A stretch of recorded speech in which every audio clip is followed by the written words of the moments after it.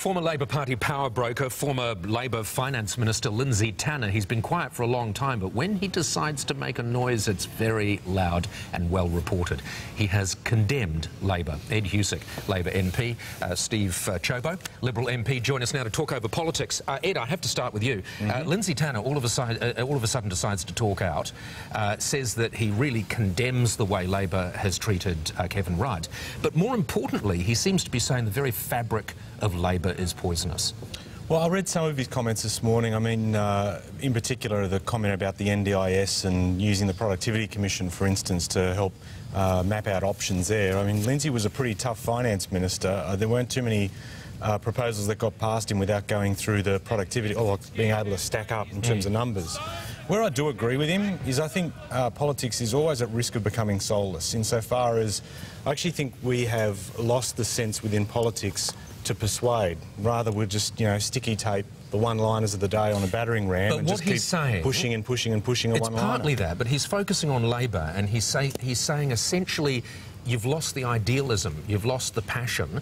All you're left with now is politics. Yeah, and I, I, think that's a danger across the political spectrum. I think I, I, don't disagree within our, and certainly within our party. And one of the reasons why I joined is because, particularly in terms of Labor, is the ability to change society for the better and I haven't lost that, that sensation. But do you look around but, your colleagues and do you think maybe these people have lost it, maybe the passion isn't there, the idealism isn't there, all you've got is pragmatism? Because I think you know, when you look at it in the context of politics right now, as I said, we've lost the art of persuading. If you come up, like Steve will say something uh, that our side of politics will ship him on if he has an independent thought. If I have an independent thought, it gets raised in, in Parliament.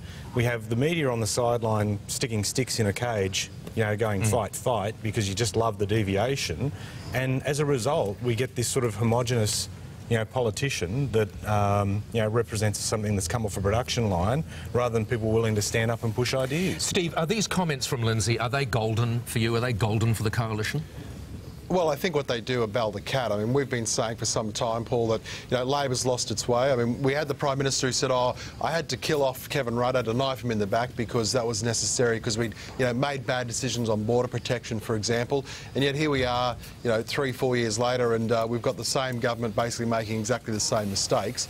Uh, so, you know, I, I, disagree with something that Ed said though about it being too homogenous. I mean, the reality is as well, Paul, there's a difference between the two sides of politics. I mean, no wonder Ed feels like that because on Labor's side, basically it's a cookie cutter where they're all ex-union officials. At least on our side, we've got former coppers, you know, we've got small business people, we've got lawyers, we've got doctors. Yeah. I mean, it's a real mix of people. But and I think that makes a big difference. It seems to me, though, Stephen, that what Lindsay Tanner is saying is not so much Labor's lost its way, but actually yeah. Labor's lost Labor that, that there isn't that there isn't that heartland sure. support has gone, maybe because Labor or the coalition or someone's done such a good job that those traditional Labor supporters have been elevated in their lifestyles and they're no longer there for Labor. Yeah. There's no need for Labor anymore. No, I disagree. I disagree well, I think it's that. part of a bigger story. I mean, but I think it's part of a bigger story though too, Paul. I mean, if you look at what's happened in politics over the last hundred years, I mean, don't forget the Labor Party was rooted in socialism. That that's its philosophical beating heart. Yep. And what we've seen is the collapse of socialism around the world. I mean, with the exception of effectively China. Um, all through those Eastern European blocs, the Soviet Union, socialism collapsed because it's a failed system. Um, and it's really only people like Ed and some of the Labor Party people who try to pretend that, no, we're still, you know, a beating social democracy in our hearts. And you know, I think most people recognise that yeah, it's, well, a, it's my, a political party without a compass. A socialist country, I think you'd be uh, uh, well advised to check out my history, mate, rather than well, making Ed, an assumption. Ed, but do you, is the Labor Party about socialism? No, that's it's your, not. That's your roots. You and can't that's deny the thing. Well, the thing is, it, that's the convenient line about you know saying that it's socialism. Uh, when in actual fact the world has well and truly moved on. But the thing that gets me, Steve, about some of your comments is as I said, like you had your own leader last week say, if you want to freelance, you won't be on the front bench. And I'm coming back to the point I made, Paul, about the fact that if we want politics to be able to advance ideas, you're going to have to break out from the mould from time to time. And Steve, you do it on your side, and we uh, and and there are people on our side that attack you for it because it's great to point out the division. And I do it on my side, and I get attacked by people on their side because mm -hmm. again, it makes great uh, media. But the fact of the matter is, politics should All be. Right. thanks, Steve. but it should be about advancing ideas. All right, let's just finish this very quickly. Um, Ed, Lindsay Tanner has essentially said he thinks it's too late. he's essentially said you actually can't save Labor. You would disagree with that? Well, he's a chirpy chap, isn't he? I mean, I, I don't think. Uh, look, I, I, agree with Lindsay on a lot of things, but I don't think. I just simply don't agree with that, that assessment whatsoever.